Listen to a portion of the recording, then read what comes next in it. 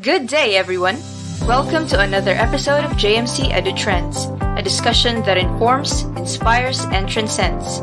To all our first-time viewers, this program streams live on www.facebook slash Jose Maria College and on YouTube at JMC Edu Trends. Don't forget to type in your comments and questions, send your emojis, click the subscribe button, and ring the notification bell so you would be notified of future discussions on JMC Edu Trends. Without much delay, ladies and gentlemen, help me welcome the program host of today's discussion.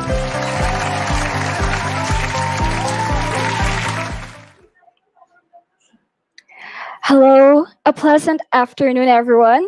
It is a heartfelt gratitude to each one of you for being here with us today, garnering your time and effort to learn, even though we are now on the verge of our finals week. We are very pleased to welcome you all, my fellow Jaimarians, those viewers who are joining our live stream video via Facebook and YouTube page, to our guest speaker who will be with us today, uh, Engineer Elaine Joy De Leon. Greetings, ma'am, and welcome to JMC.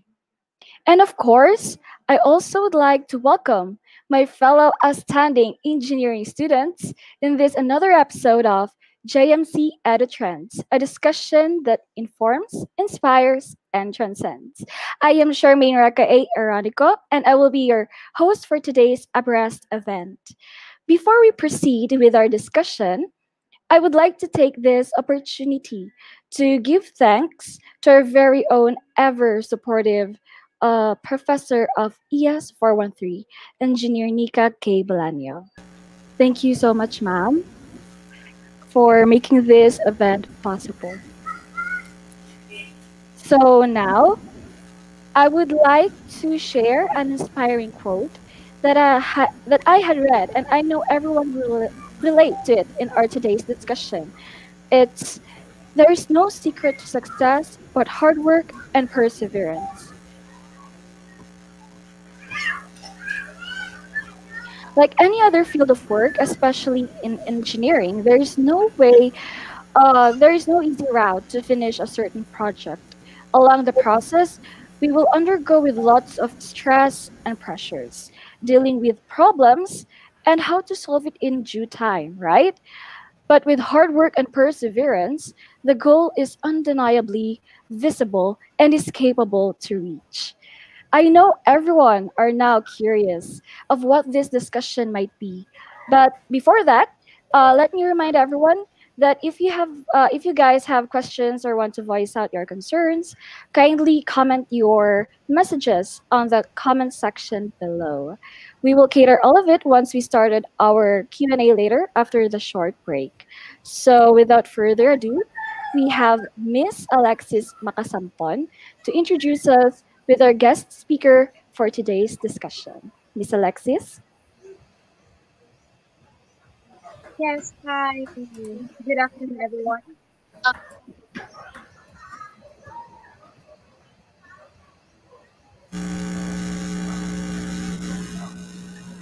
Her, she was alumni from University of Mindanao. Within just five years, she was able to get a degree in engineering.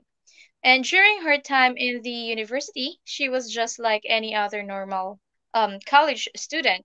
She studied hard, but also lives a life full of freedom. She often lost um, interest in studying, but that did not stop her from achieving the degree she wanted so much.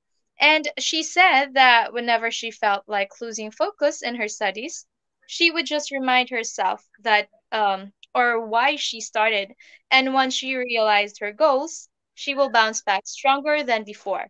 She was not the most studious person during her university days, but she gave it her all. She is a living proof that hard work pays off. She is now working as a quantity surveyor or project control engineer at CK Builders Construction and Development Corporation. So, everyone, let us all welcome Engineer Elaine Joy De Leon.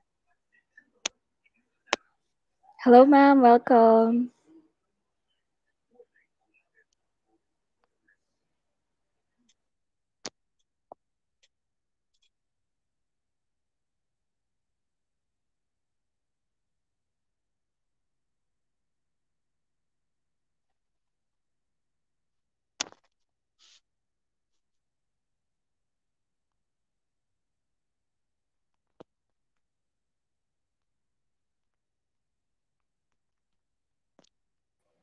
Okay, hello, hello. Sorry. Uh, ito, okay na? Okay. So, good afternoon, everyone. Uh, sorry for that technical problem. So, ay di ko napansin, nakapatay pala yung mic ko. So, I would like, again, I would like to express my gratitude for uh, JMC, uh, to JMC, I mean, for inviting me to this uh, webinar to talk about um, my scope of work, which is quantity surveying. So, uh, thank you to Miss Alexis, uh, most especially for uh, inviting me to discuss this very uh, interesting topic. So, uh, without uh, much further ado, I think I would start na siguro. So, okay. Uh, for a while. So, how do,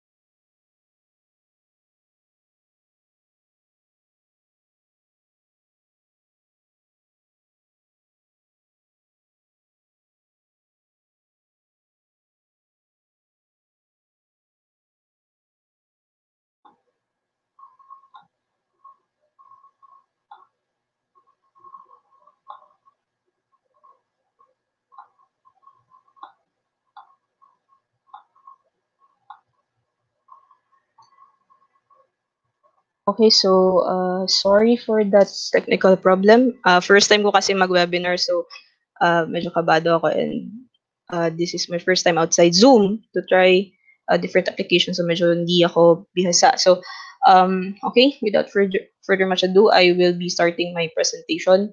So, quantity surveying 101, so managing construction costs from outset to completion. So, um, as a student, siguro, uh, as a college student, hindi familiar yung quantity surveying sa atin. So, if you say surveying, the first thought that comes to mind is line and grade ba yan?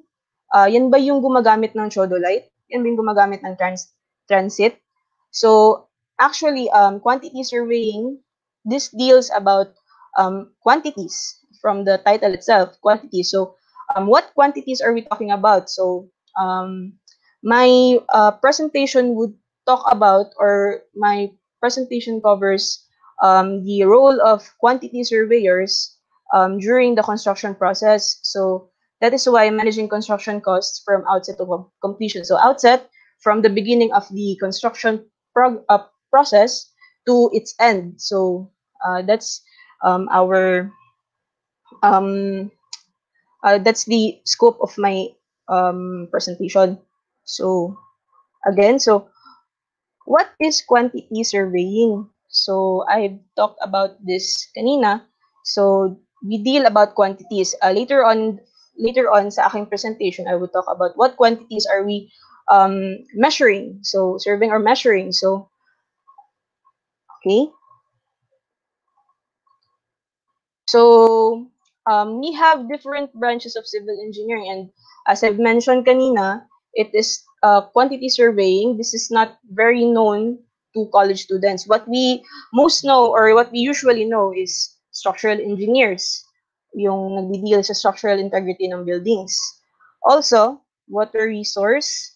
So, uh, medyo familiar tayo dyan. Medyo technical, those who deal with um, uh, yung lupa. So, mga foundation, ganon. Transportation, uh, construction, and environmental engineering. So um, this is the basic branches of civil engineering that most of the students are very particular, very um, medyo alam na nila to. So, actually, quantity surveying is under construction, the construction branch. So, together with site engineers, together with project managers, so quantity surveyors are under or in construction, in the construction branch of civil engineering. So, to further show to you or para mas ma-explain ko ng maigi kung ano yung um, to just give you an overview or a bird's eye look to what quantity surveyors do or what quantity survey what is the essence of quantity surveying.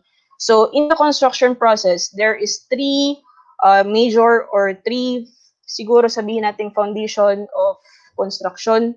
So this three I presented in a Venn diagram para mas medyo ma-picture out natin is the design branch or the design aspect. So um, this one, the design is um, yung mga architect natin. So usually they are behind um, or they are the ones who are um, present in the planning process of the project.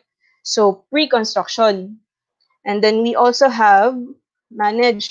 So this manage is ito yung yung nag-oversee ng project. So all of the aspects that um, all of the functions, all of what is happening, all of the activities um, in, that is happening in the construction uh, process. So sila yung nagma-manage or sila yung nag-over overlook or oversee. Sila yung in charge. So the third one would be the execute uh, would be execute or sila yung nag-implement nung plans from the design process. So sila yung nandun sa site, sila yung present dun sa site. They see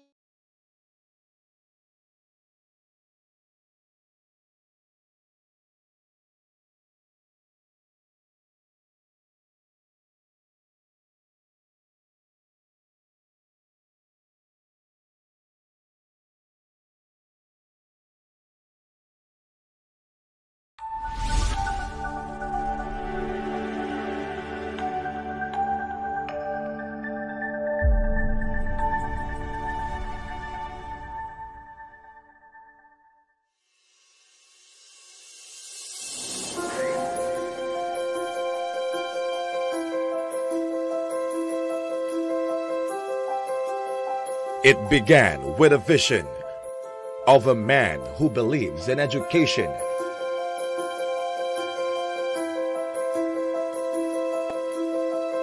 As an enabling force that leads to the enlightenment and transformation of individual in a society.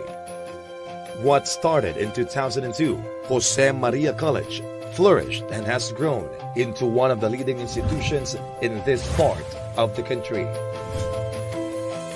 best law school, offering the best facilities with the best teachers, yet offering it at a very low rate. And this is very unique, and uh, we should give our thanks to Pastor Apollo Kibuloy for making this happen.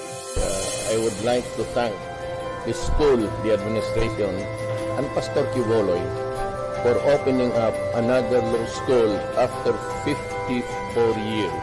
This would be uh, a good uh, help also the community.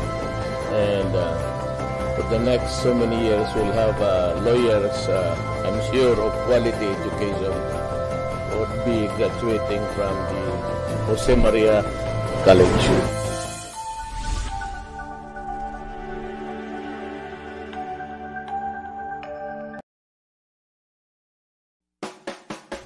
The mark of a true J. Marian is being excellent in different aspects. A true J. Marian is always competitive wherever he goes. A true J. Marian is not only smart, but also educated. A J. Marian is a good leader. A true J. Marian is someone who is fearless. They aren't afraid to show whoever they are. A true J. Marian is a person with a golden heart. That is why I'm a proud J. Marian. I am proud J. Marian. And I am proud to be a J. Marian. And I'm proud to be a J. Marian. And I am proud to be a J. Marian and I'm proud to be one of them.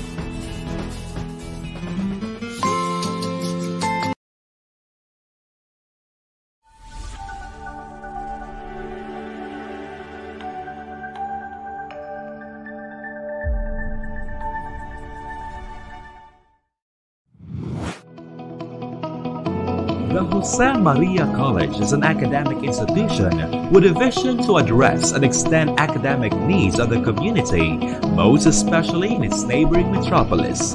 The institution has its major mission to address educational convergence following the Philippine agenda of the government, which is to make an intervention in the achievement of quality education of the region and in the Philippines as a whole, in accordance with the pertinent provisions of Republic Act No. 7722, otherwise known as the Higher Education Act of 1994 and the Virtual Resolution No. 160-2019 of the Commission on Higher Education.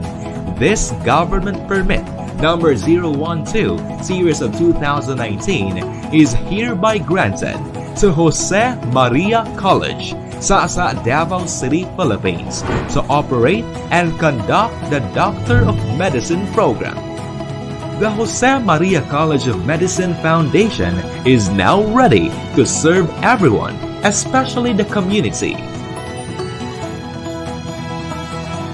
Jose Maria College, being a non-sectarian, a globally competitive school, and is well known for its world-class facilities. As the school vies for excellence across the globe, it ensures to provide assured, consistent, and quality education. The Jose Maria College of Medicine Foundation is the third newest school of medicine in Davao region. With the vision and mission of the institution, the Jose Maria College of Medicine Foundation offers a scholarship program, especially for the unfortunate, underprivileged, deprived, competent, and deserving individuals expressly manifest their intention to study and finish their health education. Let us all welcome the newest School of Medicine, the Jose Maria College of Medicine Foundation. We are now ready to serve you.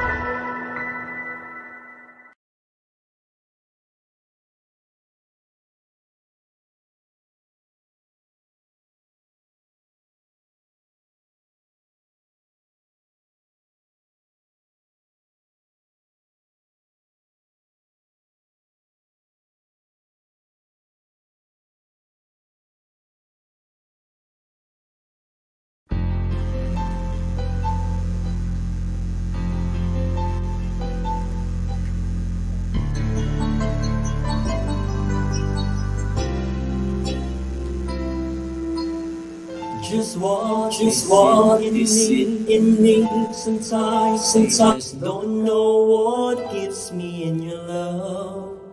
Why you never let me go. And though you're in me now, I fall and hurt you still. My Lord, please show me how to know just how you feel. You have forgiven me too many times it seems. I feel I'm not what you might call a worthy Christian after all. And though I love you so temptations find its way to me. Teach me to trust in you with all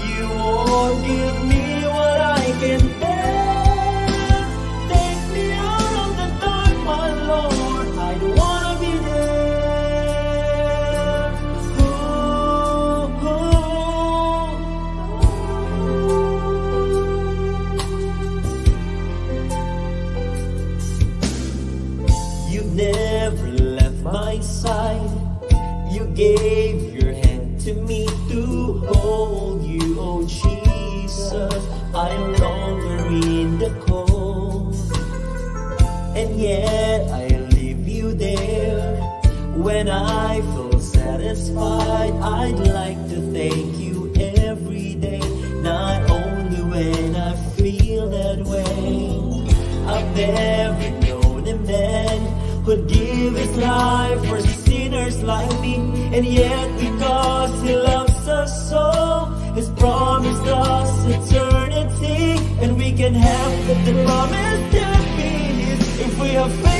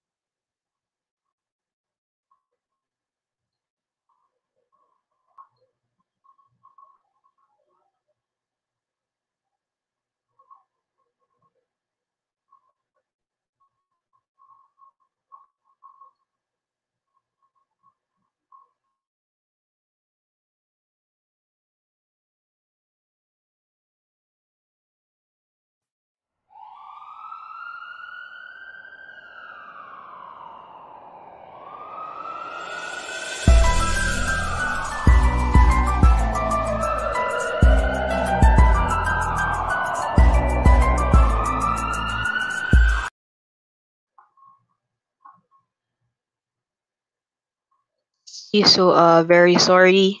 Uh, nawala yung internet connection dito sa amin. So I shall continue. Uh, I think I was cut off after introducing the different branches, as my colleagues say. So I will be discussing this again. Uh, very sorry again for the technical problem. I uh, so okay, so uh, let's continue or let's resume the discussion. So again, um, um, I will be presenting or I presented uh, to further uh, to further understand para mas maintindihan natin kung ano yung role uh, ano yung role ng quantity surveyor sa construction process. So I presented a Venn diagram. Um, so dito sa Venn diagram is we have three uh, aspects. So these are the three main aspects that um, siguro dito umiikot yung construction process. So ito yung three pillars kumbaga. So the first one would be uh, the design. So um, dito yung mga architects, they are behind the scene. So usually um, they are very present or they are uh, the ones in charge um, sa, uh, sa planning process. So um, uh, pero after or during the construction process, there is also um, meron pang design, uh, meron pang architects na nag-monitor or take charge na dapat na implement ng maayos yung plano. So the second one would be the manage aspect. So these are the ones who are overseeing or over um, or are um, in charge of the project. So lahat ng functions, lahat ng um, let's say lahat ng activities um, dumadaan yan sa kanila. They are the ones um, overseeing these activities. So uh, pati problem. So sila yung uh, nag deal with these situations. So um, next is, or the last one would be the execute aspect. So, ito na yung mga nandun sa site. So, yung mga foremost engineer natin, river engineers natin. Um, so, they are there to monitor and to uh, make sure that the plans are being um, implemented properly in the site na walang problemang mangyayari. So, if I uh, uh, if I were to um, explain or to present to you kung asan banda dito yung quantity surveyor. So, um, nandito siya sa gitna ng manage at and ng execute. So, um, manage because quantity surveyors are overseeing the costs, the quantities um, involving or the quantities involved in the in the whole construction process. And execute because we are coordinating with um what with the site. Nandun tayo present tayo sa site. Because we have to be uh, we have to um be present there na makita natin na ito na nga yung mga ito na yung uh, mga quantities na um ito na yung mga quantities na na uh, na na uh, na turn natin into figures so uh, we have to be uh, we are um in between the manage and the execute so um okay so proceed Okay, so uh, I've scoured the internet for the definitions, uh, the description, job description of quantity surveyors, kung ano yung scope of work nila. But uh, in my um, in my presentation, I am I am focusing on um, the roles of quantity surveyors in the during the construction process. So we have quantity surveyors um, in the pre-construction process. So my presentation tends to lean on sa kuan sa job description or the work uh, performed by quantity surveyors during the construction pro uh, process mismo. So, quantity surveyor. So, of all the definitions I have seen um, in the internet or in um, other sources, so I've narrowed that to three, which is, I think, very applicable to me in my own experience. So the first one would be measures work done on site. So um, ano yung mini-measure natin? So usually, um, or mainly, we are measuring quantities. So kung ano yung nandoon sa BOQ, um, we are measuring the quantities uh, that are the, uh, entailed there. So also the accomplishment, work accomplishment, and the expenses. So, of course, because we are limited to a contract, which is the bill of quantities, um, the quantity surveyor is responsible to look into it na hindi tayo lalagpas dun sa allotted na budget. So, further, uh, later on, I will be discussing this uh, more. Siguro, expand natin later on. So, the next one, prepares documents. So, anong mga documents ba ito pinaprepare natin? So, mainly, um, there are, I think, three documents, main documents that I, uh, quantity surveyors are are responsible for. So the first one would be progress billing. So itong progress billings, um, ito yung uh, ito yung naka-cash out ni contractor um, equivalent to what work yung natapos niya. So later on I will be explaining that also. So second one um, besides the contract between the owner and the uh, contractor, so we also have other contracts na madadaanan or lilitaw in between the construction process. So also, uh, try natin or I would be explaining also or discussing to you um, the different kinds of contracts na present sa construction industry. Just to, um, para meron kayong idea. So, the third one, um, sources, construction materials, and services. So, what materials and services? So, dito na papasok yung mga suppliers, subcontractors. So, how do we source or how do we choose these suppliers and subcontractors? So, uh, I will be explaining or discussing that also later on. So, okay. So, proceed. Measuring work done on site. So, okay. So, measuring work accomplishment on site. So, um, this one, yung work accomplishment, when we talk about work accomplishment, ito yung work done on site. Say, may binuhusan tayo. So, itong area na binuhusan natin, of course, uh, for uh, sa mata ng uh, I mean sa, mata ng ano ng uh, quantity surveyor, we have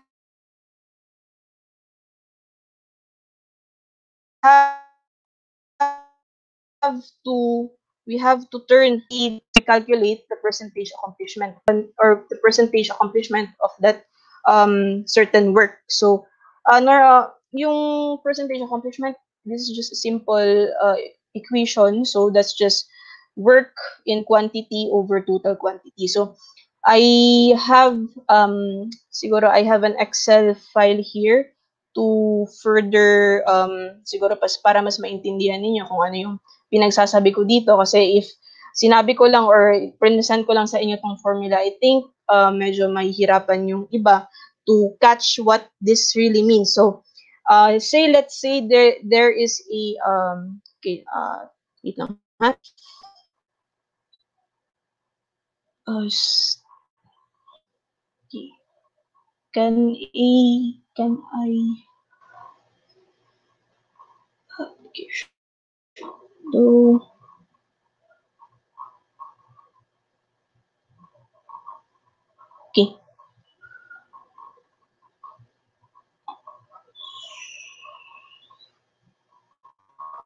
Okay. Um, this is an example of accomplishment na I was trying to tell you or I was talking kanina. So, um, this uh, Excel file, uh, ito yung kuan, mm, uh, let's say, I will, sige, try ko munang explain kung ano yung ibig sabihin ng mga figures dito because this may be overwhelming for some. Pero, um, this tab is uh, all about concreting works. So, para mas mapadali yung mas mapadali yung pagme-measure ko ng measure ng works on site because um in our in our experience our project is very uh is very huge. So uh that's 12 stories plus so medyo uh, medyo mahirap siyang i-quantify if aking isa-isahin pa na pag-calculate. Um isa isa-isa ko pang calculate every time. So I um, prepared, siguro I prepared a an Excel file na naka ano siya naka naka-separate na or naka-organize na siya into structures, into floors, and into zones. So, as you can see, uh, we have the basement floor here, the ground floor, and floor, and so on until the roof deck. So, this um uh these values here, so meron tayong shear wall, columns. So everything here, um, everything, every quantity here is or is equivalent to the quantities that are in the BOQ. So another advantage of, preparing something like this is um, alam mo talaga na hindi ka lalagpas sa BOQ because you have prepared or hinati-hati mo na uh, based on hinati-hati mo na yung ano yung quantities So, hindi ka na lalagpas. Madali na lang kasi nakapresent na siya, input-input ka na lang. So, uh, let's say, nagbuhos tayo, nagbuhos tayo ng ano, uh, sabihin natin, nagbuhos tayo ng slab, tsaka ng beam. So, sabay yan binubuhusan, di ba? So, let's say 4C, zone 4C. So, um, ito is, this is the entire second floor. This part is the entire second floor. So, pag titignan nyo dito, naka-zoning siya, nakahati yung floor nat, nakahati yung entire second floor into zonings or into zones. So, hindi naman yung buhos, diba? So, what happens here is, if may buhos, say, let's say, zone 4C binuhusan natin, so, input na lang dito and using that formula that I presented kanina, so, this period or this your uh, work in quantity and the total quantity for that for that particular zone for the zone 4C would be this one. So 41.72 over 71.28 so pwede natin makuha yung work accomplishment niya in percentage. And that would be your work done in zone 4C so if you want to know, you want to know your work done in the second floor based on buhos, based sa buhos kay zone 4C, then you use the 41.72 cubic over this quantity. So that is the work done in percentage for zone 4C sa entire second floor.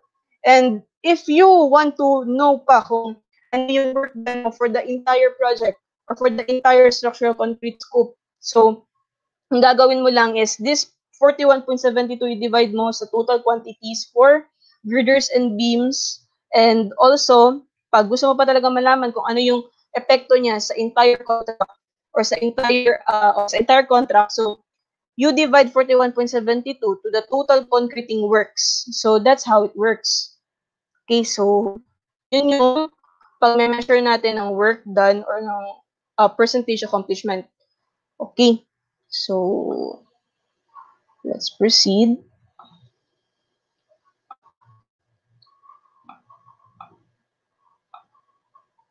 Okay, so continue tayo.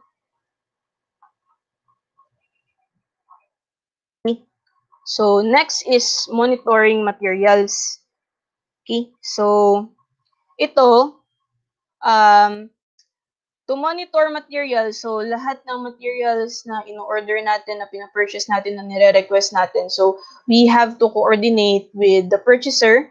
So sila yung in charge sa mga purchasing requests and the logistics and the warehouse man. So um, yung mga incoming na deliveries, saka yung stocks present on site. So uh, we uh, tend to, or we, we coordinate with these people or with these departments to know kung ano yung pumapasok na materials, then ating i-compare o i-cross-check dun sa BOQ if pasok pa ba sa budget. So, ayun. Okay.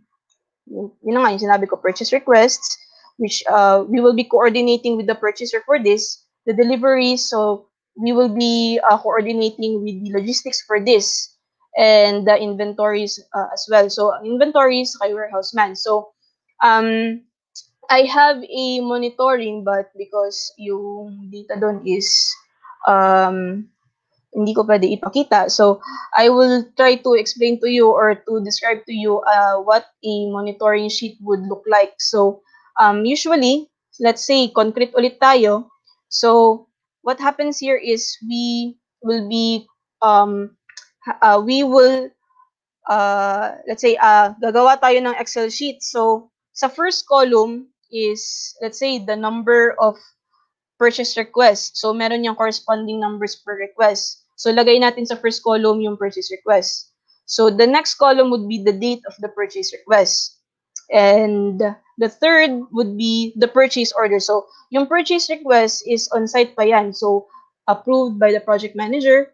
So, yung purchase order is, yun na yung ipapakita kay supplier so that uh, makukuha na natin yung material. And then, yan yun siya is issued na, let's say, president. So, siya yung mag-release ng funds for that particular purchase. So, purchase order, and then the date of release of that purchase order, and then we proceed to the delivery. So, itong deliveries, uh, we have delivery receipts. So, every delivery na pumapasok sa site, um, the quantity surveyor should should be aware of it and should um, monitor these deliveries kasi um, of course as what I've said earlier is kailangan you have to look closely closely to uh, what happens on site in terms of materials and money because we are very limited. We are enclosed by the BOQ. So, any lagpas dyan is risk na ng contractor. So, um, that is the main, um, let's say that's the main, or one of the main uh, responsibilities of the surveyor is to monitor everything on site na um, quanti in, in terms of quantities. So, delivery, delivery receipt, and then um, on the next column is yung uh, amount of the, I mean, the quantity of the del uh, delivered quantity, I mean, sorry, the delivered quantity. So, let's say nag-order tayo ng bakal mm, 100,000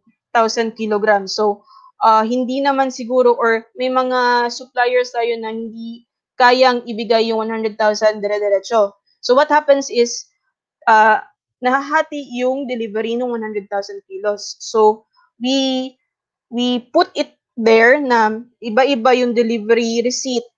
So when we check uh, when we check with the when we check with the logistics and the warehouse man, so magbabangga yung mga quantities. Therefore, walang anomalyang nagaganap or ano ba. So that is um, what one of our main responsibilities is to look closely to every quantity entering and exiting the site. So, yun yun. Okay.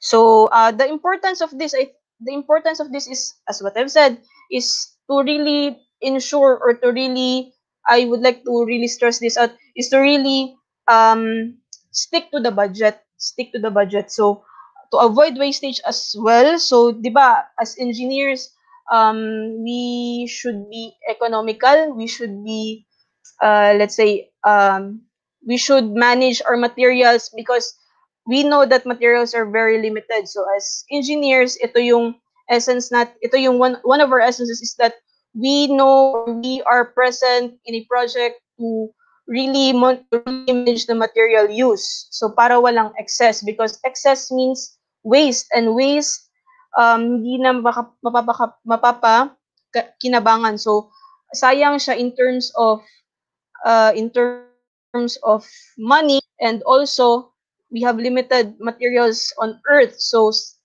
to waste such is really um parang ano nakakaano nakaka ano sa atin as engineers because this is what we are studying um back then kung paano natin i-manage to so uh there's that so okay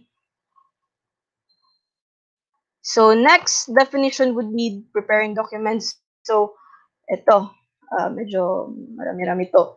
So first, top of these documents would be the contract. So what, as what I've said earlier, we have uh, we have already the main contract for a project, which is the contract between the owner and the contractor, and and uh, excuse me.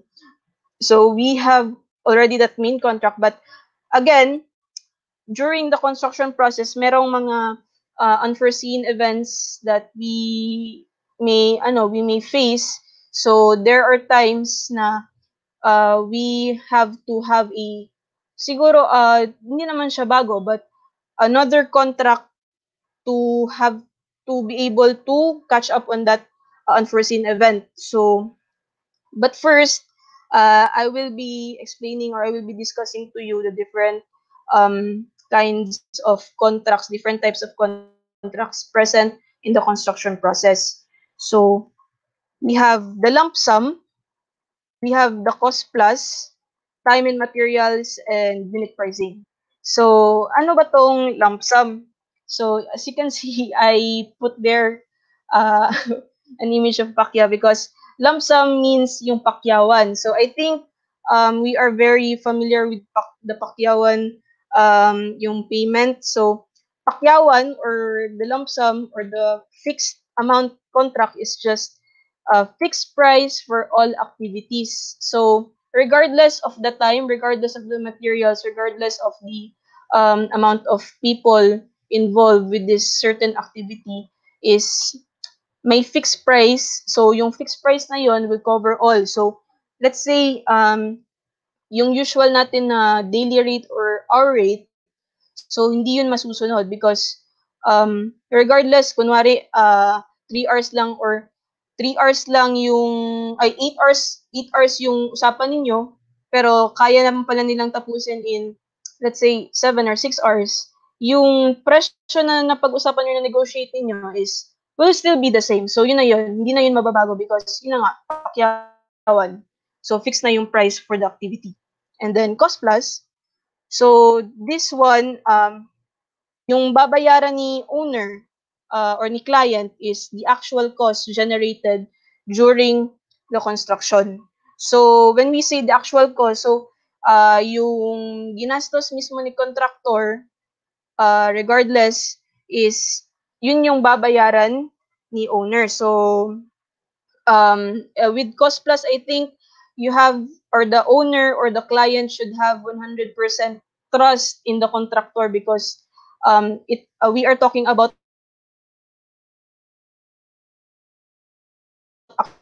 actual cost. So, wala tayong cost na i-declare ni contractor na nagastos niya for that project or for that activity is yun yung babayaran ni owner. But then again, uh, there, there will be a discussion as to yung limits nung pwede nilang isingil kay, kay owner. So, um, in this cost plus, so uh, we have, or this costs, yung actual cost is uh, divided into two. So, the actual cost would be uh, divided into the direct cost and the overhead cost. So, yung direct cost, ito yung nagastos ni contractor for materials, for labor, for the time uh, they spent doing that activity. And the overhead uh, overhead na uh, overhead cost would be the salary, yung sa insurance, yung uh, ano pa ba? Permits. So there. Yun yung dalawang component ng actual cost na sisingilin ni contractor kay owner. So cost plus um meron tayong dalawa, cost plus percentage to cover overhead profit and cost plus uh, cost plus fee contract. So, itong yung number one, yung cost plus percentage to cover overhead and profit. So, uh, si contractor may gagawing activity. So, um, pag ginawa niya yung activity, uh, wala siyang incentive kung matatapos niya maaga as kontra dun sa yung discuss ninyo na period in-estimate ninyo. So, uh, kunwari, 9 months yung diniscuss niyo na matatapos. So, wala siyang incentive if matatapos niyo yun in 7 months. But then, the longer the duration, the higher the profit of the contractor. So, uh, yun yung cost plus percentage to cover over. So, wala ngang incentive, but then again, pag tumatagal yung kuha, yung duration ng project, eh, mas lumalaki naman yung profit. So parang yun na yung incentive itself. And the second one would be uh, cost plus fee contract. So ito naman, um, the longer the, so kabaliktaran lang siya nung first. The longer the duration, mas bumababa yung percentage profit ni contractor. So, as e-contractor, syempre tatapusin mo, if ganito yung napag-usapan ninyo ni owner, cost plus fee contract, edi ikaw, you will try your best to to do the job quickly because as time passes, mas bumababa yung profit mo. So that's your loss.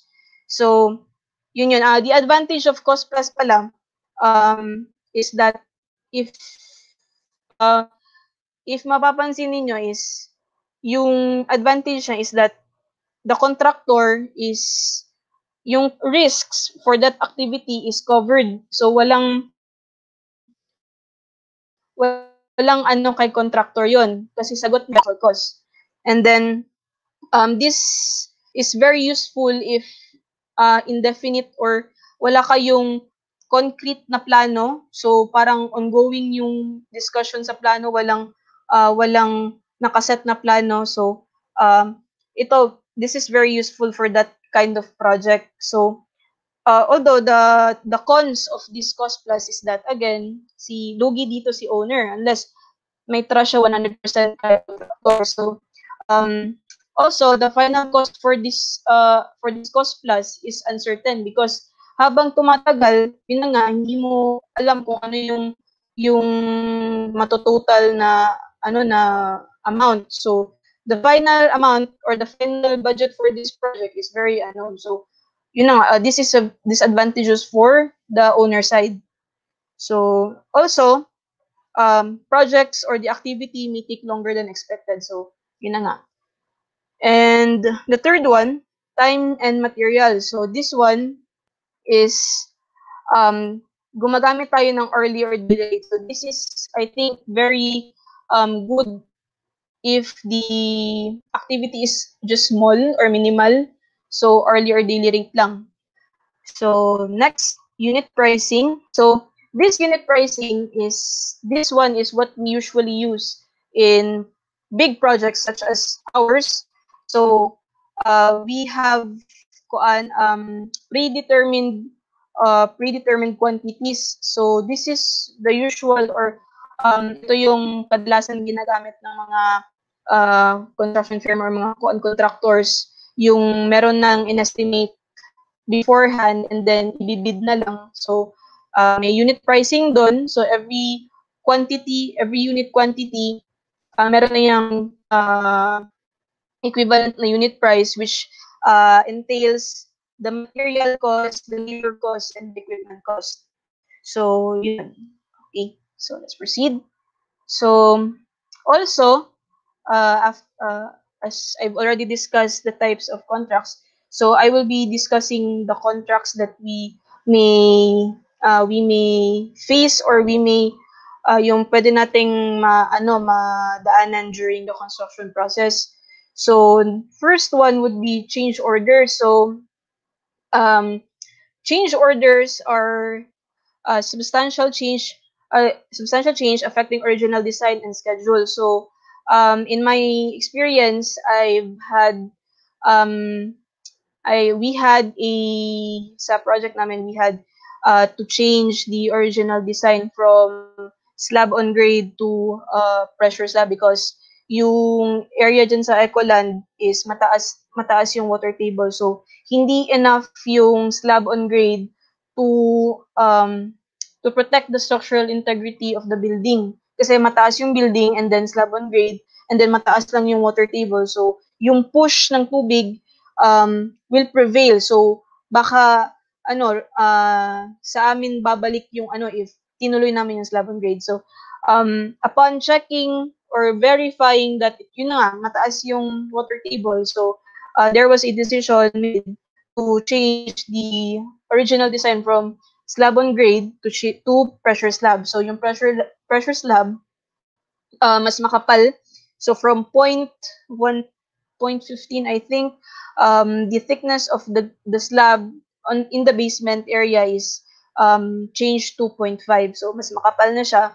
And this point, uh, in this pressure slab is um, strong enough to withstand yung pressure from coming from the water from the water table. So, yung push is ma uh, ano niya mapipig uh, I mean, uh, it's strong enough to prevent overturning. So, yun yun. But then um, because of the change on the original design and also the time it took to redesign uh, especially kasi medyo, ano to, kasi kailangan mo pang i-defend kay owner na this change um, is for the better. So, of course, it took time to really tell or to really um to really maano namin yung yung owner na kailangan nga i-change. So, yun na nga, uh, because of this change, the pressure slab is meron tayong increase in the increase in the amount. So from the original contract, nadagdagan yung sisingilin ni contract ay sisingilin ni contractor kay owner because yun na nga um, nadagdagan yung yung materials because of the pressure slab change. So then as you can see, it affected the original design as well as the schedule na extend ng konti yung ano, na extend yung konti yung construction duration. So therefore um, we proposed a change order. So, yun na yun. So, the second one would be variation order.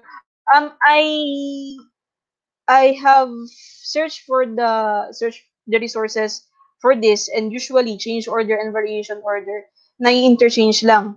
But um, the, I think variation order varies because minimal changes lang yung pinag-uusapan natin kay variation order. So, these minimal changes hindi naapektuhan yung original design and schedule. So, these are siguro additives lang, deductives lang, and uh, the best example for this would be siguro changes in methods. Um, siguro for repairs. So change in method for repairs would not really necessarily affect the design and the schedule. So um, to post that change in method, that is variation order. So, okay. Next. So, okay. Ito, so the number two document that we are preparing as quantity surveyors is the progress billing. So, ito yung pinaka-importanting document na uh, hawak ng quantity surveyor because this document, the progress billing will tell or will ito yung mag-aano kung ano yung yung papasok na pera sa inyo as based sa ano yung nagawa ninyong work. So, um, parts or I mean, uh, ano yung naka-attach for progress billing. So, we have the cover page.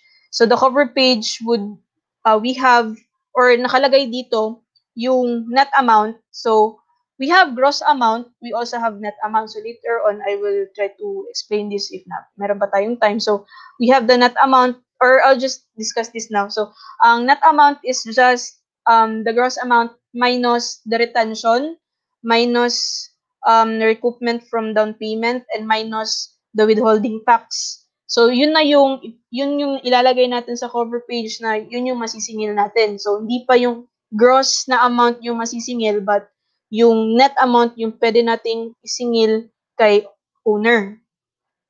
So, later on, i-discuss ko yung uh, down payment at saka kung ano yung retention. So, next is the accomplishment. So, dito magagamit um, mainly yung percentage accomplishment kasi dito natin itatabulate yung mga works done and then works done it, uh, we will be turning that works done to figures in terms of percentage and that percentage we will turn that into money. So dito malalaman kung ano yung yung yung ating uh, accomplishment in terms of money. So affidavit uh, just to uh, just to state na wala tayong walang monkey business na nakapaloob dyan sa progress billing, all of the quantities, all of the amounts are true, and this shall be notarized by a lawyer. And progress photos, so of course, the owner would like to know ano na yung itsura ng site because not all the time they are present on the site. Um, they may siguro, meron silang uh, representative na will look or will visit the site but that would hindi siya palagi. So, uh, we shall attach or um, progress photos sa progress billing natin just to really show kung ano yung ano na yung nangyayari sa site to the owner. So, the next one is the as-built. Ito yung as-built. Itong as-built is um, plans na um, dito natin i-show yung yung actual versus theoretical. So, sa plano, we have a fixed we have fixed dimensions, we have fixed na um, reference points. So, we will be checking or we will be showing in that as-built kung ano yung actual, if masyado bang malayo or masyado bang yung accuracy nung trabaho natin. So, parang comparison siya ng theoretical tsaka ng actual. And um, last is additional documents requested by owner. So, this varies. Um, in our case, we have to attach the concrete pouring request just to really prove na yung binil namin, yung nilagay namin sa billing is nabuhusan na nga talaga. So, this varies, depende sa uh, discussion nyo with owner and the third party. So, not all the time may additional documents na manghihingi, but the first five are the main um, attachments of the progress billing. So, okay, ito. So, I've talked about this kanina, the down payment, dun sa cover page, saka retention. So, itong down payment, um, part of the original, part of the contract price. So usually, this is 30% of the contract. Usually, that's the standard uh, of the contract price, 30% of the contract price. And second is the retention. Itong retention, this is the amount retained, um, amount retained or ito, kinukuha, binabawi ng ano, binabawi or uh, stagnant to na amount uh, hindi mo na siya makiklaim ni uh, ni contractor to protect the client's inter- best interest. So, this amount will be claimed by the contractor upon project completion, pero may mga times na hindi yung whole ang pwedeng i-claim ni contractor by the end of the project. So, um, there are times na siguro 50% muna ng uh, ng retention amount is makaklaim by the end of the project and for a certain time uh, yung 50% naman is makukuha na. So yung balance. And um yung mga back jobs yung mga repairs on that uh, certain period dun kukunin sa retention. So dun siya sisingilin or dun siya pwede kunin. So uh, the standard for this retention by the way is uh, 10% so 10% ang standard. And depende sa discussion or depende sa kontrata discussed with the owner and the contractor, um, pwede, pwede siya matweak. So, pwedeng 10% for the first 50, 50% progress accomplishment and then uh, after that 50% progress accomplishment, pag pumatong na, pag pumasok na kayo sa 60% or 70%, then 5% na lang yung retention na mariretain. So, may mga ganun na cases. So, Next, okay, so ito, contractors reports. So we have two contractors reports, the daily and the weekly. So uh, ano yung nakapaloob dito sa daily and weekly contractors reports? So um, the first one would be the activities. So uh, dito nyo gagamitin yung English skills nyo. So i- i- i-enumerate ninyo yung activities on site for every trade. So let's say structural na trade, ano yung mga activities for that day? For the mechanical trade, for the fire protection trade, plumbing trade, electrical trade. So iisa-isahin nyo, enumerate ninyo kung ano yung activities for that day or for that week. So second is manpower and equipment. So for that certain day, for that day, ilan yung present na mga tao? So from the staff, ilan, itatabulate nyo yan from the direct direct um, manpower, yung mga uh, helpers natin, uh, carpenters, steelman. So, ilan, i-enumerate nyo yan. And then, also, equipment, if uh, functioning ba lahat ng equipment, uh, you will be tabulating also that in numbers. So, baka may nasira na equipment, at least, na monitor doon, excuse me, uh, na, na, na re-reflect doon sa report na yung let's say you have two dump trucks on site and one is not functioning. So you will be um you will be proclaiming in that report na one lang yung dump truck because wa, uh, yung isa is sira. So mamo-monitor diyan yung yung resources natin on site. And the third one, uh, weather condition. So this weather condition is um, important because uh, at times, uh, lalo na pag maulan yung panahon, we can make claims for extension of time for this. Kasi, um, of course, if malakas yung ulan, syempre may work stoppage. So, um, we can apply or we can propose an extension of time for with, for due to weather condition. So, also, earthquakes. So, kailangan natin ilista lahat ng nangyayari on site. And also, additional documents. So, um, depende rin sa uh, napag-usapan or ano yung nire-request ni consultant or ni owner ng mga additional documents. So, pwedeng uh, pwedeng attendance ng mga tao na to prove na ito yung present na manpower, uh, pwede ring pictures, pwedeng progress photos also. We can also attach that or list of visitors, pwede rin. So, that uh, boils down to what the what the owner uh, requests, so yung additional documents. So, but uh, the main attachments for contractors reports would be the activities, manpower and equipment, and the weather conditions. So, yun yun. Okay. So, next, sourcing materials and services. So, ito na yung subcon and suppliers. So, choosing suppliers and subcontractors. So, when we choose or when we try to choose our suppliers and subcontractors, so syempre, um, when you announce that you are searching for a certain type of material, syempre, uh, maraming mag apply to supply for you. And how do you, uh, so as a quantity surveyor, one of our responsibilities also is uh, we have to we have to choose um, from a from a number of suppliers and subcontractors that are offering their services. So how do we choose wisely or smartly? Kasi syempre um uh, mag-offer sila ng ano nila ng material nila and you have to really look into it kung what is the best option to be used or to uh, to select. So I have I think three uh, factors that I try to use or try to um, apply in choosing suppliers in suppliers. So so uh, we have which is more economical, which meets the designer's requirements most, and which have agreeable terms. So, um, ma'am, uh, kailangan ba, what if, kunwari, ano, um, na-meet niyo yung designer's requirements and also agreeable yung terms, pero mahal.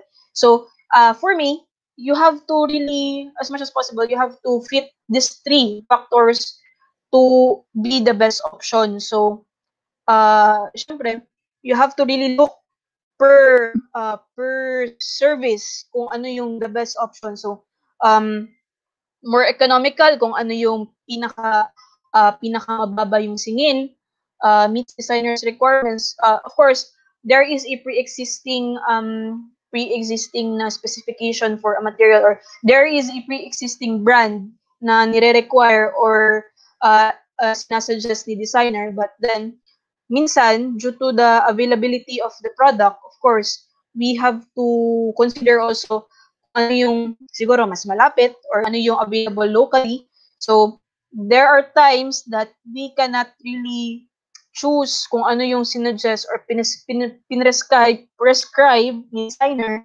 So, we try to scour for options for this and the closer the the closest one to the designer's requirements or the yung pinaka malapit or pinaka identical to what designer wants is um, the best one for that factor alone.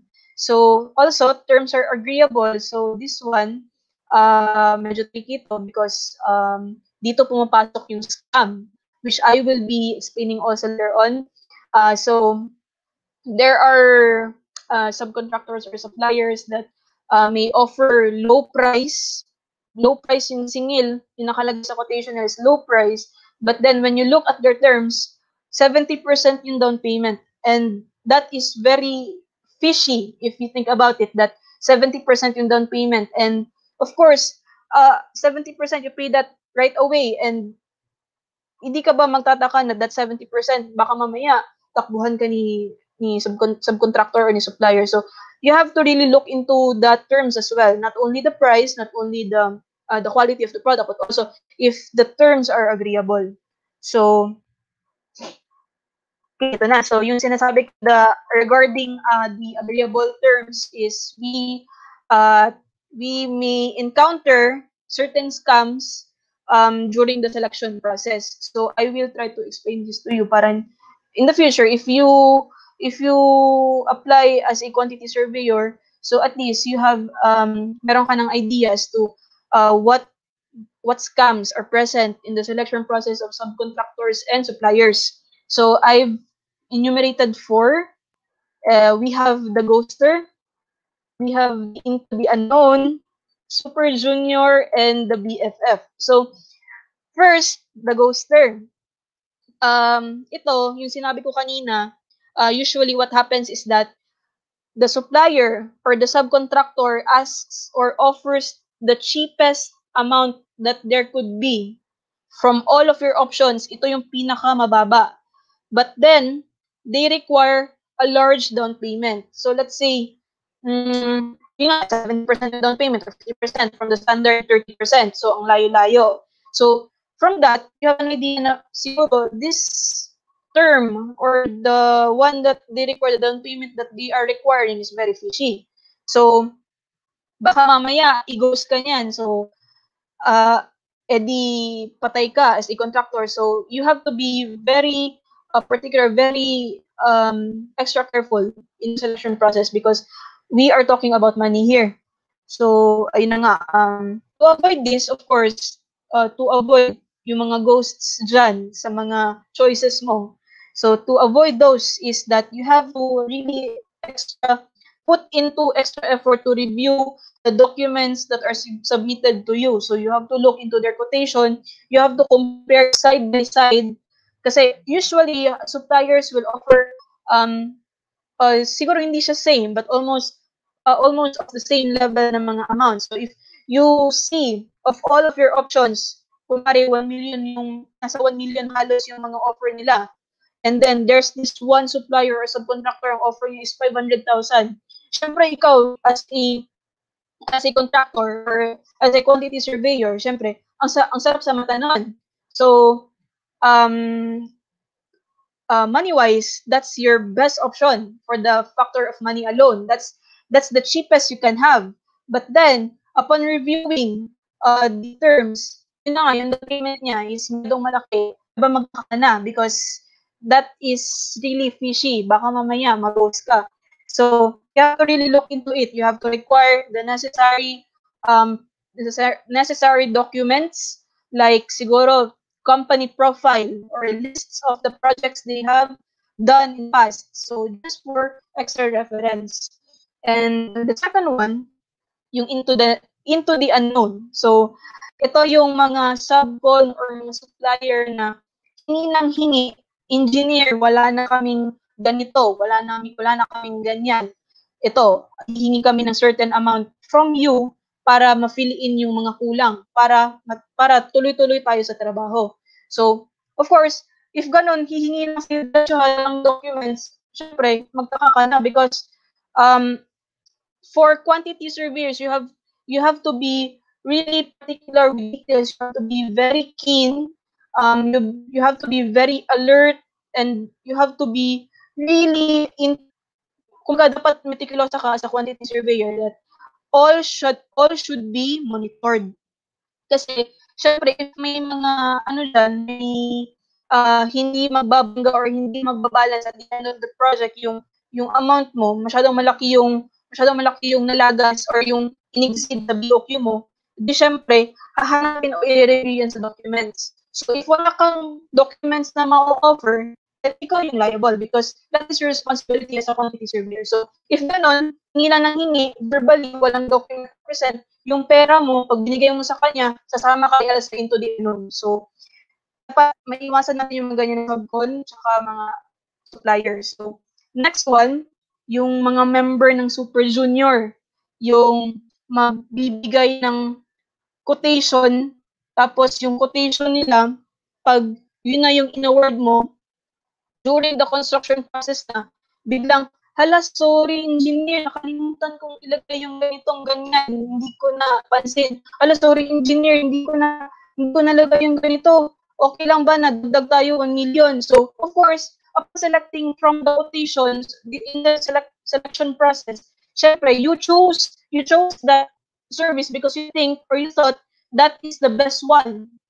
All the three factors, you have reviewed it and uh, this is the best one for you. But then, pag, pag uh, trabaho na, biglang, sorry, engineer, sorry, sorry. So, yun nga, baka member yun ng Super Junior, sige, sorry na, sorry.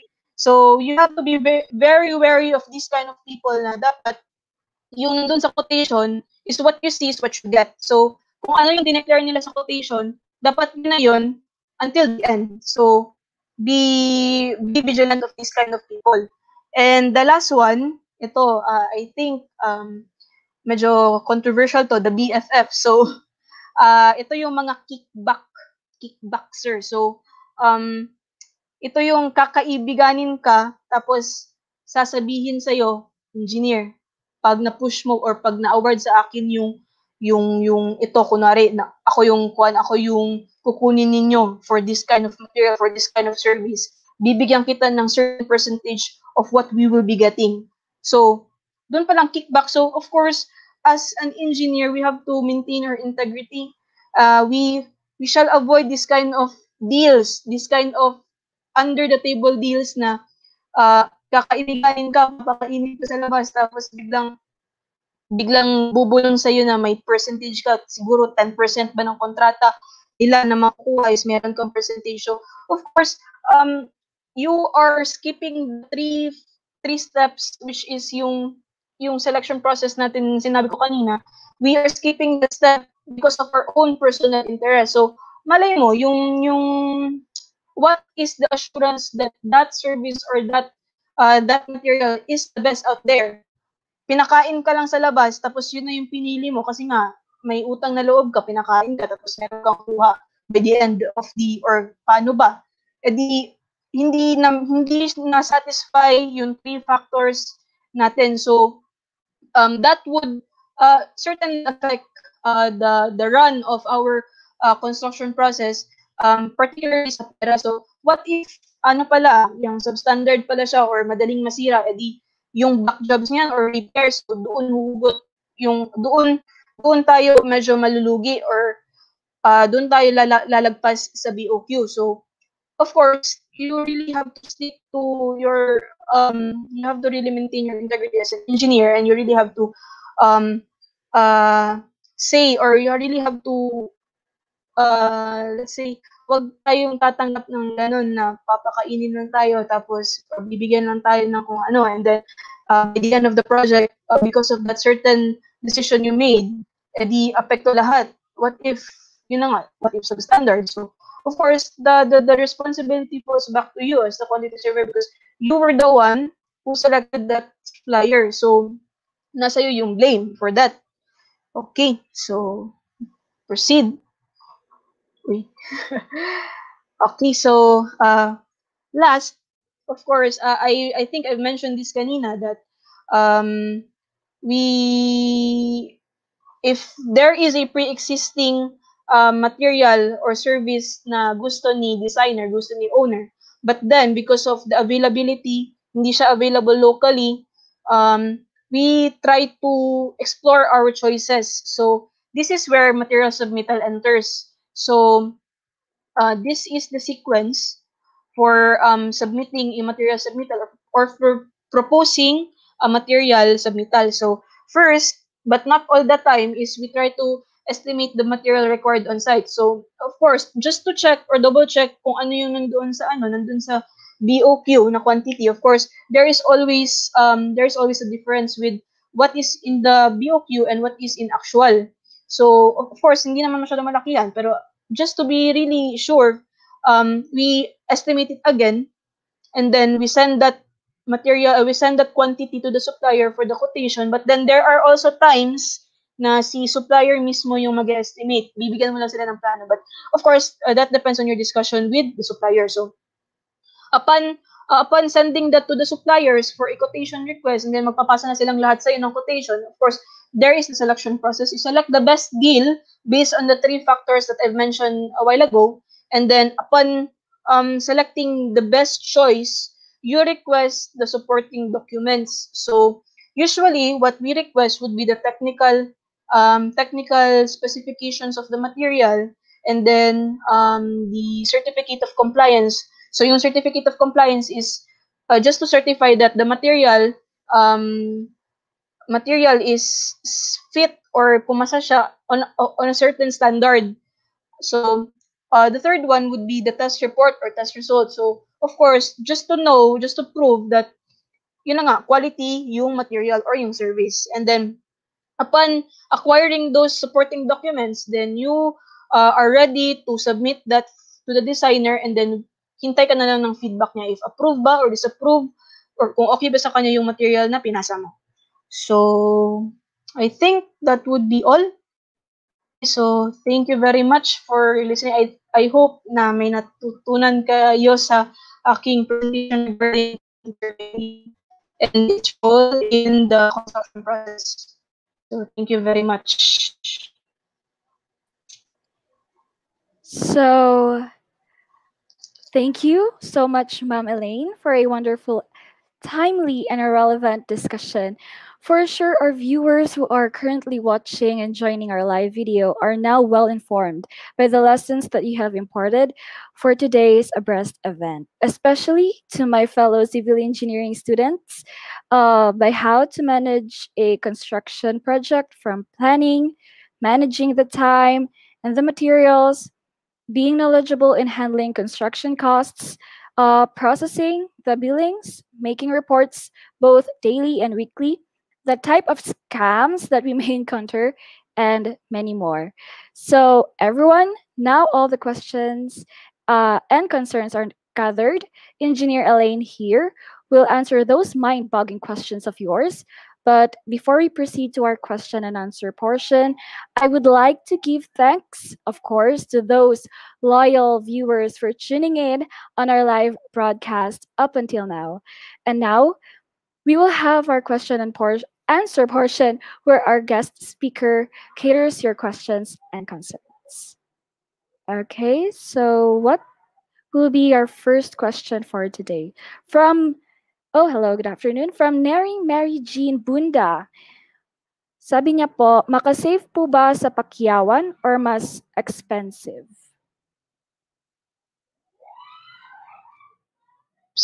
Okay, so uh, thank you for that question. So uh, it it will depend the it will depend sa type of activity. So if your activity nyo is matagal, uh, matagal yung duration, then most probably, tsaka marami yung tao, most probably mas makakales ka. But if the activity is just for a short duration and konti lang yung tao, and you think as an engineer, you can see to it that um, matatapos lang naman siya agad-agad as uh, compared to the original um, agreement, then uh, mas lugi ka. So, it will always depend on the situation.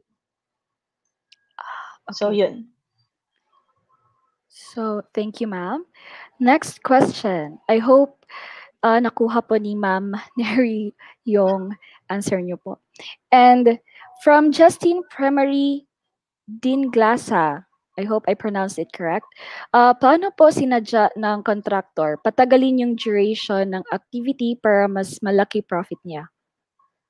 So I think uh, she is pertaining to the cost plus siguro na ano na uh, type of contract. So, I've discussed that that type of contract, if matagal yung uh, duration, then mas malaki yung profit niya. So, uh, that's where I think I try to, siguro, I try to not recommend cost plus because you can only, or uh, cost plus is uh, the best option for you if 100% yung trust mo or kakilala mo yung contractor. But then, if, kunwari, ganyan, uh, wala kayong trust between the contractor and the owner, so, kunwari, uh, lolokohin ka, patatagalin ng sadya yung duration, then that's on you. Kasi hindi hindi mo masyadong kakilala yung contractor or siguro wala kang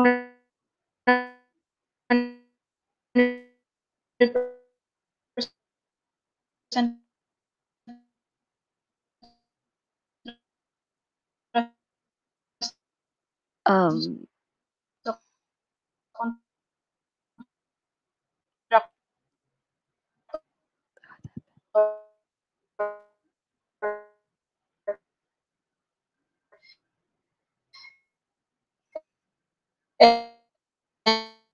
and then you show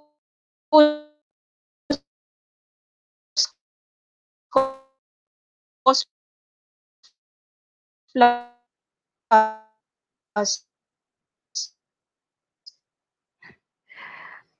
Okay, ma'am. Parang, yeah, sorry for the technical error about that.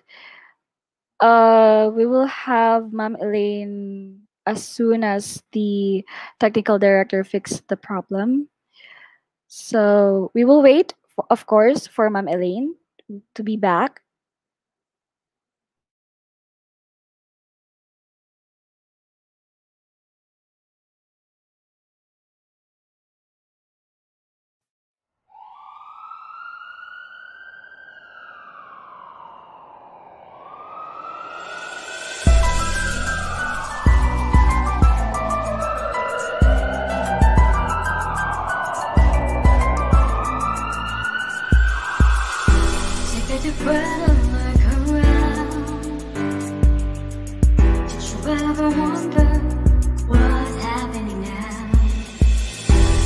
the world is falling apart. Every day is breaking our heart. But the world if we're alone, what happened to the place we call home?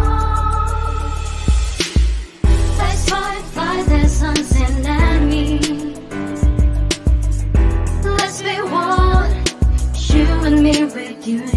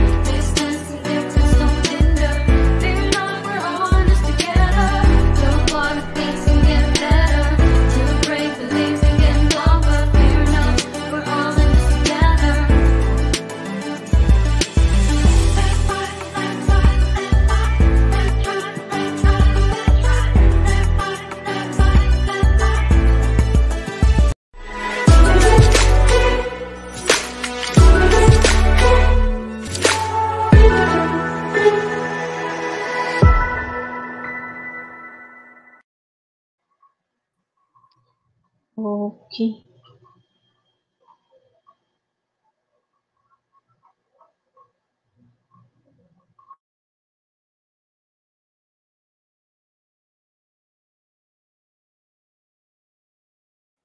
Oh, I'm so sorry. The mic was on mute. So thank you for tuning with us and welcome again to our webinar. Sorry for that technical error.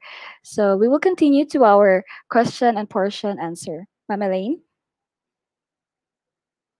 Okay, so uh, yun na nga, I, I think the best suggestion for that is to really select or during sa uh, discussion pa lang with the contractor, si owner should be uh, should ask um, should ask from other professionals. I think that uh, uh, knows the construction process uh, process well, so that uh, she she or he could select the best contract that there is. So um, siguro hindi siya, I mean, um, hindi advisable for that situation if hindi mo kakilala yung, or hindi ganun yung trust mo doon sa contractor. So I think uh, the best thing to do is really explore your choices. So hanap ka ng mas maganda or the best the best contract that will fit your situation.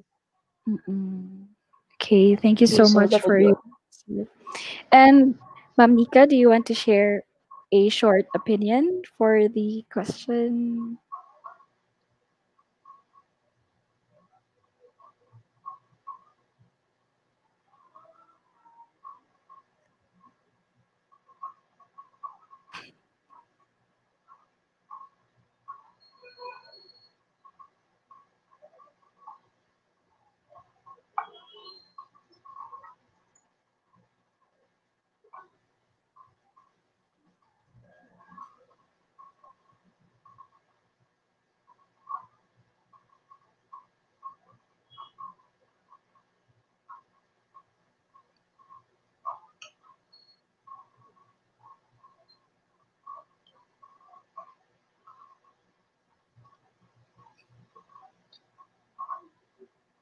Uh, Ma'am Nika, naka-off po yung mic niyo. Ma'am, yung mic niyo po. Pasensya na. Okay. Okay, sige, As sige. for the question, uh, summarize ko lang ulit yung sinabi ko. Kasi if, if um, yung question is bakit, ay paano if ang contractor, if, um, ano ngayon, sadyain niya patagalin yung um, project. Yes, no? ma'am. Yes, yes, yes. Um, activity para um, mas Mas malaki, malaki profit niya. profit niya. Ah, okay. Hindi kasi um um pagkakaalam ko is before mag-start yung project, no? May deliberation pa yan bef- between the owner and the contractor. And diyan madidiscuss na kasi nila yung yung schedule ng project. Kasi iya- isa yan siya sa building permit na ipapas, ah, isa yan siya sa requirements ng building permit eh, yung yung schedule ng project. So if if ang kunwari kasi may mga may mga owners din, kunwari sa residential may mga owners na gusto nila padaliin yung padaliin yung project, no? So kunwari in three months time dapat ma matapos na yung uh, ma-complete na yung project, no? So um ayun, no? So di di yan basta-basta ma mapa yan, mapatagal lang ng contractor kasi before pa again mag-start yung project isa na yan sila sa isa na yan na subject na um, madidiscuss between the owner and the contractor. Yun lang. Thank you so much, ma'am, for that wonderful share of opinion. For the next question, Paul Lim. It is from Paul Lim. Is there a difference between quantity surveyor and cost engineer, ma'am? Okay, so uh, I thank you for that question again. So Paul, uh, I guess uh, if you really look into it, uh, quantity surveyor and cost engineer, same-same lang yung roles nila. But then, what happens is that the cost engineer um, usually is present in the pre-construction process. So, nasa planning sila banda. And that, ang yung role nila doon is they are uh, um, considering or they are quantifying uh, included na dun yung risk analysis, So they are present in the planning process and quantity surveyors I think is present in uh, during the construction process na. So pero same same lang yung essence ng ano nila, yung definition ng job description nila but then yung kung saan sila banda dun sa process ng construction, dun na siguro nagva-vary. So thank you. So, thank you so much, ma'am. I hope naliwanagan po si Mr. Paul. okay, from next question from Mr. Alan Kala. Ano po requirements for extra payment na pwede ma-file kay owner if ever nalugi si contractor sa cost? Um, if sa simula nang hangyo si owner kay contractor about sa cost? Okay, so if sa simula naghangyo si owner kay contractor about sa so most possibly I think um merong uh, let's say I've encountered the situation, siguro fixed na yung kuan, fixed na yung amount na gusto ni owner and then he he the owner just gives that amount to the contractor, siya nang bahala mag-budget. Siguro ito yung nangyari dito. And then what happens during the construction process is that hindi niya na-hit, so sumobra siya doon sa budget because of course, uh, fixed na nga yung amount, hindi bali hindi si contractor yung nag-estimate nung kuan nung uh, nung amount. So I think um, right in the beginning is risk that is the risk of the contractor because of course um, uh, it's very uh, dapat alam natin kung ano talaga yung yung actual or at least uh, close to the actual na mga quantities that would uh, that would uh, be used in the project. So if yun na nga binigyan ka lang ng binigyan ka lang ng budget and then uh, it's up to you. So maraming malalagas to na needed na mga materials and of course, uh, hindi talaga may iwasan dun na malugi ka and so what happens is you will be trying to uh, to propose an extra payment kay owner. So I guess um, for the contractor side, you have to prepare uh, a detailed document as to why uh, as to why you exceeded the budget. So you have to list there ano yung mga ano yung mga um, services, yung materials na hindi nasali dun sa original uh, BOQ but then it was needed um, during the construction process. So you have to prepare a detailed document along with um, the attachments needed. Siguro you have to um, you have to prepare uh, kung ano yung yung chronology of events ba and um, a quanti uh, siguro an estimate, a quantified estimate as to um, kung magkano ba yung mga ano yung effect in terms of cost ng materials na uh, siguro sumobra dun sa BOQ and then you uh, you try to talk it out with the owner you try to really push that kasi at the first place it was the owner who who gave you a fixed budget so of course uh, the owner should have an open mind and really understand that of course uh, medyo mahirap uh, for a contractor to move to uh to move with a fixed budget na hindi siya yung nag-decide. So siguro consideration na lang sa part ni owner. But then for the contract contractor side, you, you just have to prepare a detailed document and you really have to um, prove that ito nga yung amount na sumobra and you are asking for additional funds uh, based on that document. So yun siguro yung uh, best option that there is. That was so detail detail oriented and so insightful. Super. So from from Mr. Paul Lim, good PM Engineer De Leon, about the retention, it is stated that every billing there's a retention of 10%.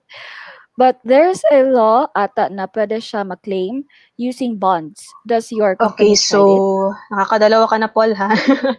um So, I think uh, what he's talking about is the retention bond. So, medyo hassle kasi yung claiming of bond, ay claiming of retention na by the end of uh, the, depende sa discussion, by the end of the project and then another certain period, makiklaim yung balance. So, there are times that contractors uh, use retention bonds, but then I am not very familiar with retention bonds.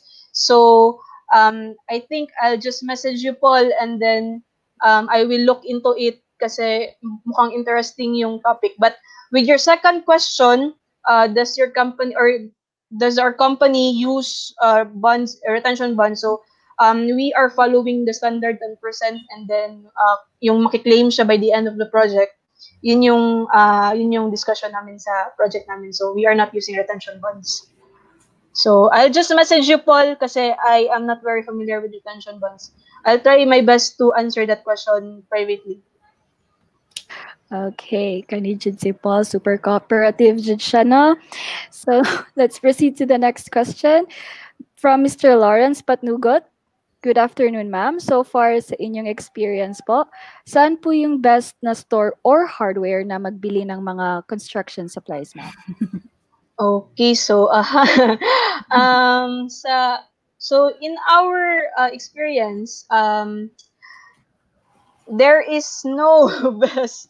I think uh, there for our siguro sa type of project that we have, uh, there is I think I would say now we are not monopoly ay, ano ba yan? Parang hindi kami nakafocus into one supplier. So we try to explore our choices from outside Davao, from inside Davao, locally available. So we don't we try or we don't tend to focus or get our supplies in one or sa isang hardware store lang. So there are stores that offers um siguro uh, yung availability nga may mga ibang hardware na hindi available yung hinahanap namin.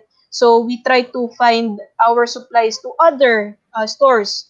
So I think um uh, sa para sa experience namin is there is really no you you would say the best store hardware.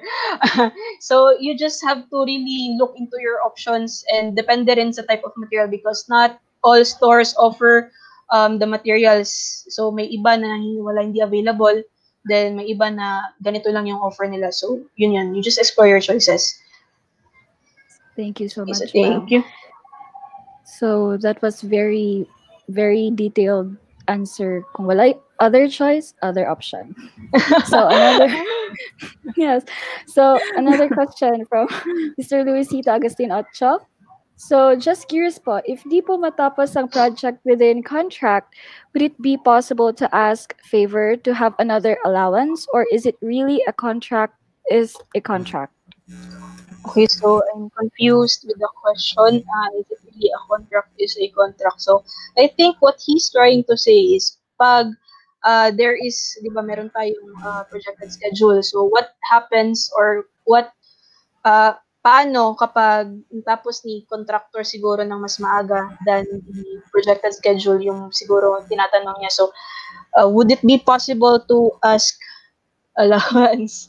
So, if you're saying, uh, siguro if you're saying the allowance is another, labas pa sa budget, another contract or another amount na nalabas dun sa original na budget, I think you don't have the right to do that you ha you just really stick with the BOQ or the original budget. So uh, walang ano ay regard uh, siguro depende sa kontrata if wala kayong fixed na budget if natapos mo yung uh, activity uh, earlier then may I think I discussed this a while ago na merong isang contract na nag-offer ng incentive if maaga mong matatapos yung activity. Mm. But then usually uh, I think rare lang yung yung yung uh, cost plus. So uh, what happens is there is always or most of the time there's always a fixed uh, amount that there is. So um, siguro you cannot request uh, an incentive na labas pa dun sa budget. So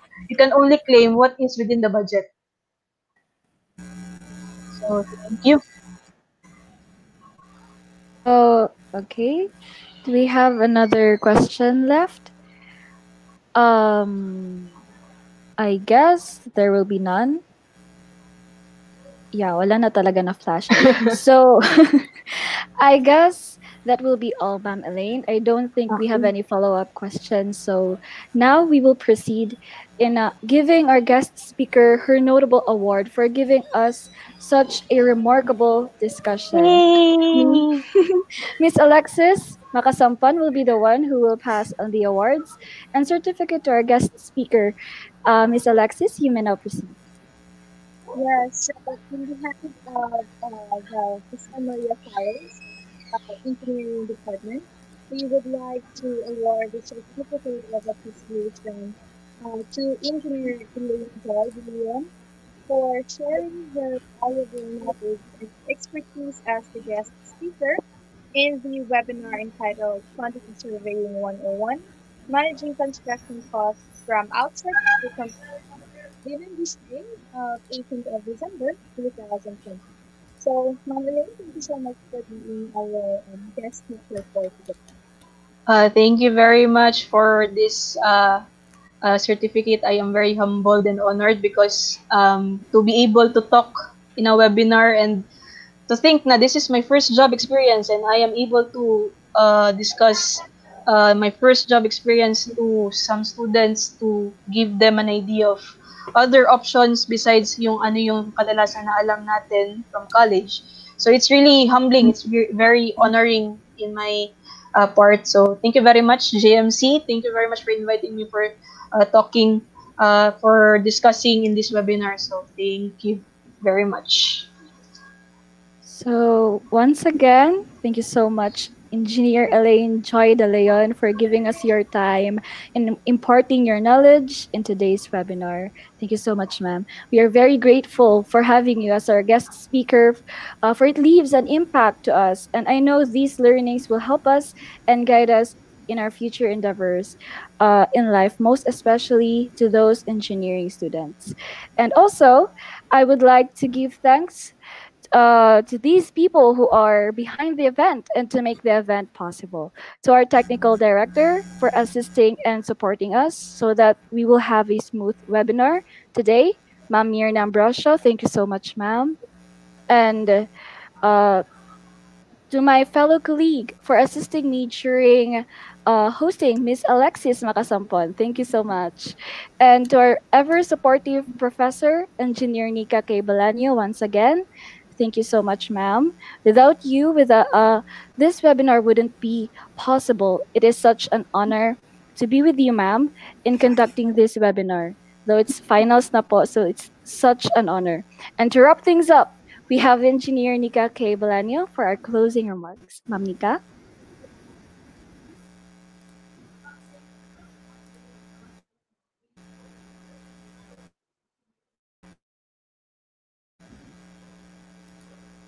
Thank you, Ms. Veronica. Good afternoon, um, everyone. Um, I would just like to thank once again the people behind this event, the successful event. I would like to thank first and foremost the Director of Communications Affairs, Ma'am Mirna Ambrosio, also our Technical Director.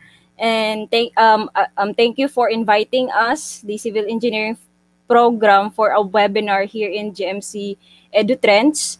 To our guest speaker, Engineer Elaine, um, thank you for gracing us, for sharing your valuable knowledge and expertise ng quantity surveying. Um, though um, on-site po kayo, thank you po talaga for um, honoring us today. And to my ES4 um, 413 students, especially to Alexis Makasampod's group for uh, making this event possible to all participants and viewers joining us live via Facebook, via YouTube. Thank you for being with us and staying with us until the very end ng webinar. We hope to see you again in the next episode, hopefully by the next semester. Please continue to support this GMC advocacy of informing, inspiring, and transcending as we continue to achieve educational excellence despite the current educational disturbances. That's all. Thank you. That ends another substantive discussion on JMC EduTrends, produced by the Jose Maria College Communication Affairs Office. On behalf of our founding president, Pastor Apollo C. Kibuloy, thank you for being with us. Join us again next time for another interesting, inspiring, and transcending discussion on JMC EduTrends. Bye everyone and keep safe.